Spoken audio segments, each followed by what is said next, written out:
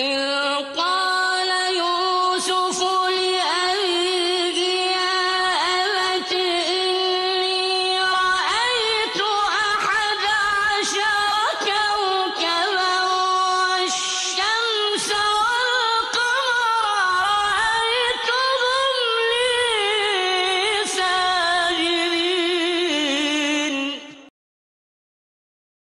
the name of God and prayers and peace be upon the messenger of God, we said that a person who reaches the level of benevolence must enjoy some kind of empowerment from God Almighty.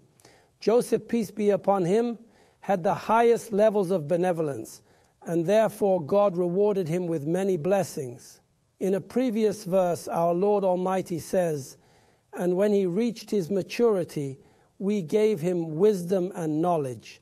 Thus we reward the righteous. So, both the blessings of wisdom and knowledge were a reward from God to Joseph, peace be upon him, in exchange for his benevolence.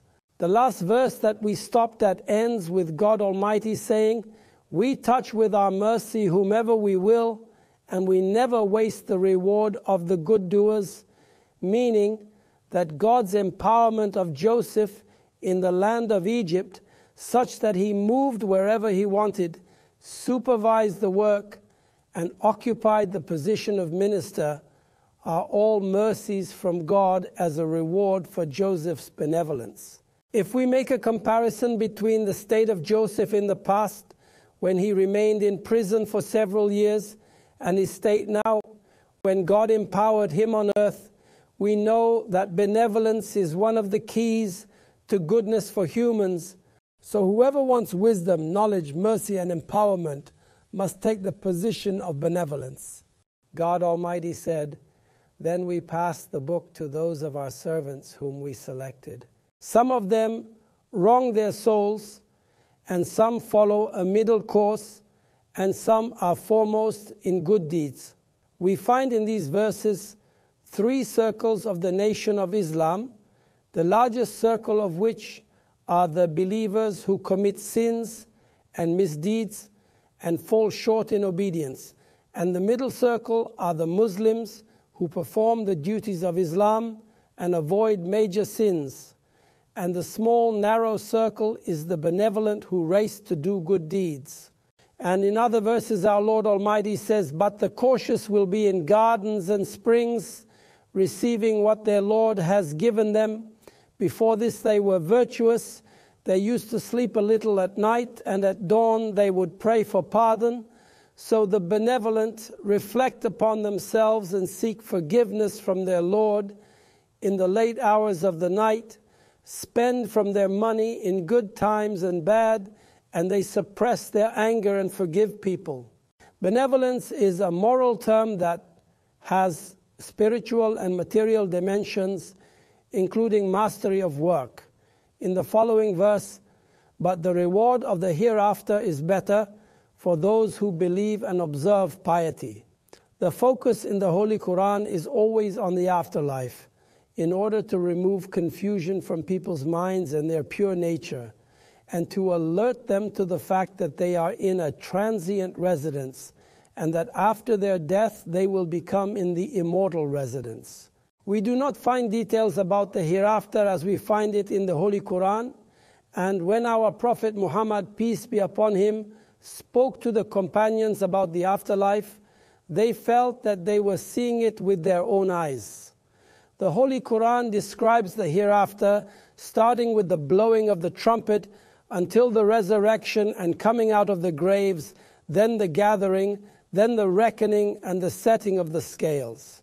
The Holy Quran depicts paradise with its rivers, the beautiful huris, its greenery, its trees, its freshness, its fruits, its beds, sofas, and the cups in which drinks are served. It also depicted fire with its heat and cold modes, the tree of bitterness in it, and the chains in which criminals are bound. Non Muslims go to the unknown after their death, but Muslims know what awaits them. Because the Holy Quran defined the afterlife for us and taught us that winning the reward of the afterlife comes through benevolence, faith, and piety. Faith has six pillars that we know well, which are believing in God, His angels, His books, His messengers, the last day, and both good and evil destiny. All the conditions of faith are stated in the Quran, and the highest level of faith is to believe in God.